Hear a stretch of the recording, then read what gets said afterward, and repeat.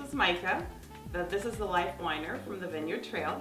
Today I'm coming to you from Villa Bellangelo in the beautiful Finger Lakes district of New York, wine country. And I am going to share with you a new gadget that I found.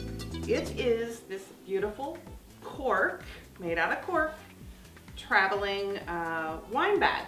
And it's actually quite nifty. Um, I love it. It comes to you from homewetbar.com and uh, let me show it to you. It is truly made out of cork. They do a one letter monograph for you, specialized.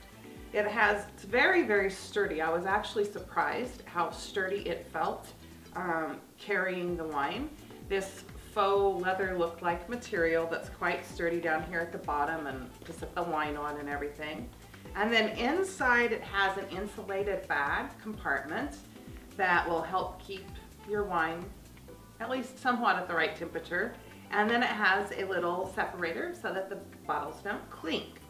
So I'm gonna show you how this wonderful thing works with some Bellangelo wine.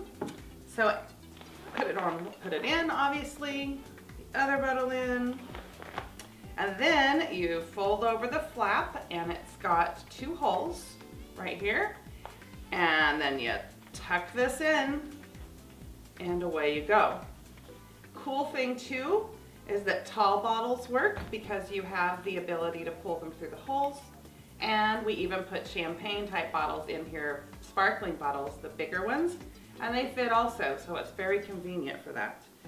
Cover, covers, carries two bottles, could even fit a corkscrew in there if you wanted to, and you're ready to go. Which reminds me, I'm running late for my meeting with the other winers, Elizabeth and Brian, so I'm gonna get going with my new bag. See you later. Bye.